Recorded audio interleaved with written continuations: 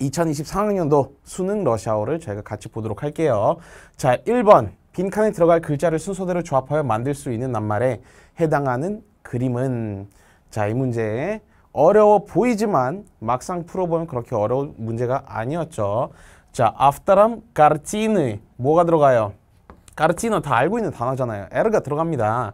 알료누시카라는 까르티나 그림 그쵸? автор 작가는 является русский 땡땡 후도즈닉 그쵸? 빈칸에 우를 넣었죠. 후도즈니크라는 단어 저희 많이 봤었잖아요. 그쵸? 화가. 빅터 베스니츠오프.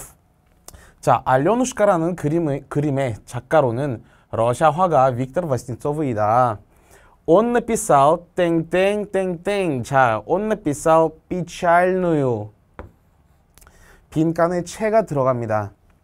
이 단어는 이제 여러분들 중에서 단어 공부를 좀 많이 하신 분들이 맞췄을 거예요. 그렇죠? 비찰리 하는 슬픈 라는 그런 형용사입니다. 자, девушку. девушka는 알고 있잖아요. 그렇죠? девушka가 누구예요?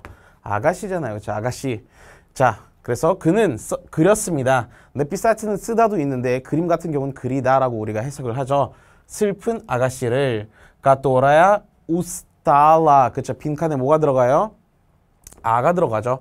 우스타라 우스타치가 뭐예요? 지치다 피곤해하다 뭐로부터 от тяжелой жизни 힘든 삶 때문에 힘든 슬픈 아가씨를 그는 그렸다. 그래서 루치카 루치카가 뭐예요? 볼펜이죠. 답은 3번입니다. 자, 1번 루바시카 셔츠, 2번 로시카 숟가락, 4번 꽃 아니면 꼬시카 고양이, 5번은 람파였죠. 그래서 답은 루치카 볼펜이었죠. 자, 그 다음 2번 볼게요. 밑줄, 밑줄 친 부분의 발음이 나머지 넷과 다른 것은 1점짜리였죠. 자, 이 발음 문제 우리가 수도 없이 많이 했습니다. 그래서 여러분들이 여기서 많이 맞았겠죠. 틀리진 않았을 거라고 저는 믿고 있어요. 자, 1번. Там вы увидите выход. Там вы увидите выход. 거기서 당신은 볼 수 있을 겁니다. выход 뭐예요? выход. вход라고 하는 것은 입구. 위하트라고 하는 것은 출구죠. 자, 뒤에 내를 보면 내는 센 에고 맨 뒤에 왔으니까 약해지죠. 그래서 뭘로 발음이 돼요? 때로 발음이 되죠. 위하트. 자, 볼게요. Мы редко ходим в горы. Мы редко ходим в горы. 우리는 드물게 다닙니다. 산으로. 우리는 산으로는 드물게 다닙니다. 자, редко. 내고 뒤에 뭐가 있어요? 잠이 하나 또 있죠. 까가 있습니다. 까는 약한 애요, 센 애요. 약한 애고 그럼 약한 애 앞에 센 애가 섰으니까 이 센 애도 어떻게 된다? 같이 약해진다. 그래서 뭐로 발음이 돼요? 때로 발음이 됩니다. 자, 그 다음에 3번. Эта шапка мне не подходит. Эта шапка мне не подходит. 자, 이 모자는 나에게는 не подходит. 어울리지 않아. 그쵸? 자, 여기서도 내가 있고 뒤에 뭐가 있어요? 자음이 있네요. 자, 그럼 이 자음을 볼게요. 하는 이 하는 뭐가 없어요? 짝이 없습니다. 그렇죠? 짝이 없지만 얘가 무성 자음이라는 거 우리가 언제 배웠어요? 알파벳과 발음 규칙을 공부를 할 때 배웠습니다. 자, 어쨌든 얘는 약한 애예요. 그러면 앞에 있는 이 센 애도 어떻게 된다? 약해진다. 때로 발음이 됩니다. 자, 그 다음에 расскажи мне о своей поездке. расскажи мне о своей поездке. 말해줘 나에게 자신의 여행에 대해서. 자, поездка 뭐가 있어요 뒤에? 까가 있네요. 까 뭐라고 했어요? 약한 애죠? 앞에 썼으니까 얘도 때로 발음이 됩니다. поездка 트, 트, 트로 들리죠. 자, химия. мой любимый предмет. 자, химия. 화학은 мой любимый. 내가 제일 좋아하는 предмет. предмет는 뭐예요? subject. 물건이란 뜻도 있지만 과목이란 뜻도 있습니다. 자, 그래서 предмет. 자, 여기서도 뒤에 보니까 m이 왔어요. m. 그렇죠? 자, m은 짝이 없는 유성 자음입니다. 얘는 어떻게 발음을 해도 그 발음을 잃지 않아요. 그렇죠? 무, 무, 무. мама 할 때도 항상 m이 다 그대로 발음이 되죠. 그래서 предмет. 자, 얘도 세네. 얘도 세네. 뭐 바뀔 게 없죠. 그러면 얘는 뭘로 발음이 돼요? 네. 그대로 자신의 발음을 잃지 않습니다. 자, 그래서 5번이 답이 되겠죠. 다 떼고 나머지 5분만 네로 발음이 됐었죠. 자, 그 다음에 3번 밑줄 친 부분과 발음이 다른 것은 우미냐 무지도록 다 자, 이거를 이제 어떻게 여러분들이 읽었냐에 따라서 승패가 갈렸을 겁니다. 그렇죠? 자, 우미냐 무지도록 나에겐 수업이 있을 거야. 다 땡땡. 자, 언제까지? 그래서 여기서 우리가 어떻게 발음을 하냐면 강세가 앞, 앞으로 갑니다. 다차사 그렇죠? 다차사 다차사라고 합니다. 자 그러면 강세가 뒤로 가면 틀린 거냐? 자 이 차사라는 단어를 우리가 원래 강세를 뒤로 갈 때도 있었어요. 언제?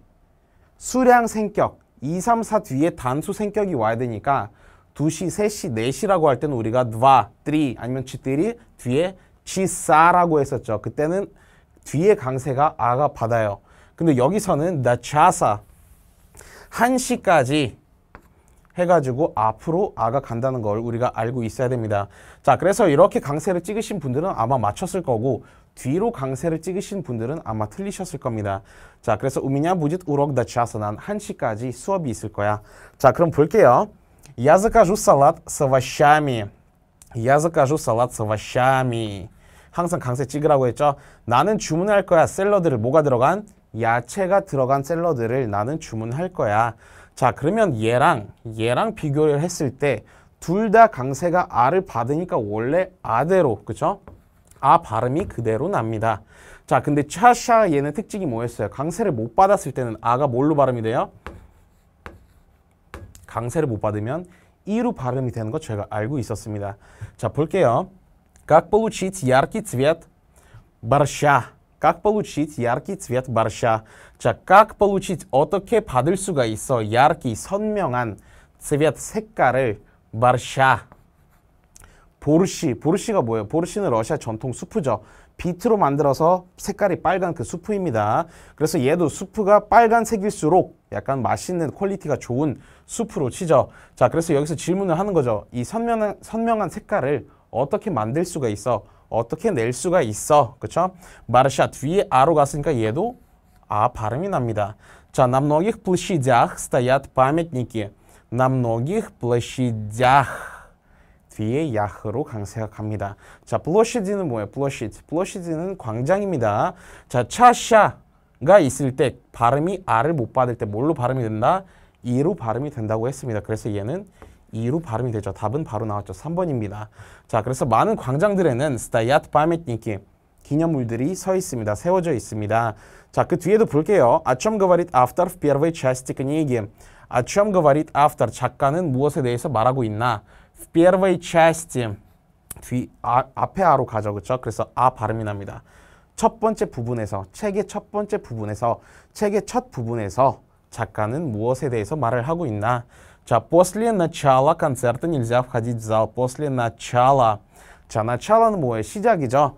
자, 시작 후에 콘서트 시작 후에는 안 됩니다. 카디지잘 홀로 들어가는 게. 그렇죠? 그래서 얘도 R을 받아서 아 그대로 발음이 납니다. 그래서 답은 3번이었습니다.